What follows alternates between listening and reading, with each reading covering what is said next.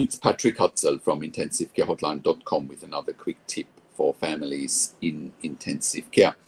So, when you go to our website, intensivecarehotline.com, and you opt in for our free ebook, or for your free ebook, the Instant Impact Report, when you have a loved one in intensive care, we ask you what frustrations you have. And then we get a lot of insights from our clients and prospective clients. And I want to read out another frustration here today so you can actually hear what, what uh, our clients have to say. And also, if you do that, uh, I will read out your frustration here one day and then answer your question. You know, if you do that, then the more questions will get answered. So uh, one of our readers writes, I have several frustrations.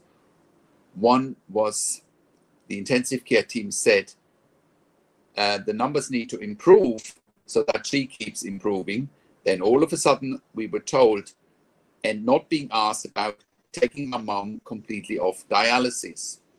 From day one in ICU, we have felt they have written her off, trying to say she was brain dead, which she is not. Please help. Now, before I answer the question, I also want to remind you if you find my videos valuable, subscribe to my YouTube channel, click the like button, click the notification bell, share the video with your friends and families so you get regular updates for families in intensive care. Okay, so let's address the question.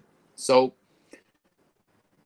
it is often correct to say that the numbers need to improve, that when patients are improving. Now, that's not the only thing that people need to pay attention to, but it is definitely a puzzle when patients are in intensive care and you need to look at numbers that includes vital signs, blood results, chest x-ray results, you know, medications people are on, the dosages of medications. So the numbers are important, which then brings me right away to what I've been saying for the longest, that the biggest challenge for families in intensive care is that they don't know what they don't know. They don't know what to look for. They don't know what questions to ask.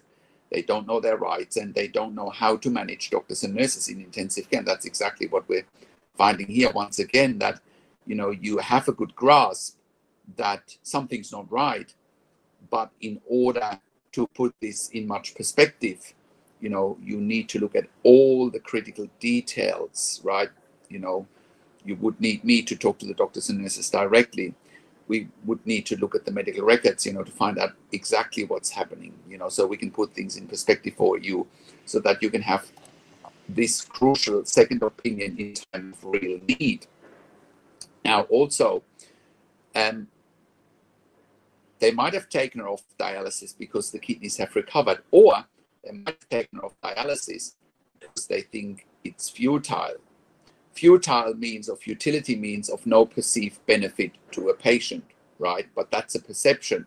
You probably have a very different perception, okay? That's why it's critical to get a second opinion. That's why it's critical to have an advocate like myself uh, to talk to the doctors and nurses directly to find out what's exactly happening. Is it ethical what they're doing?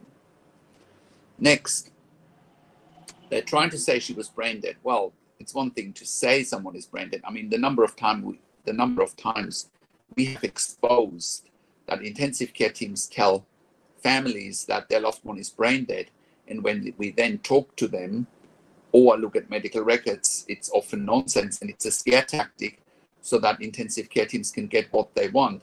There is a big difference between someone being brain dead and someone being brain damaged. Big big difference, no correlation to the two, right? When someone is brain dead or considered to be brain dead, there are two that need to do the testing. So it's not as simple as someone just saying, oh, your loved one is brain dead. There needs to be clear evidence for it. Okay? So, and especially if you felt like they've quote unquote written your mom off from day one, that is, of course, very sad to hear.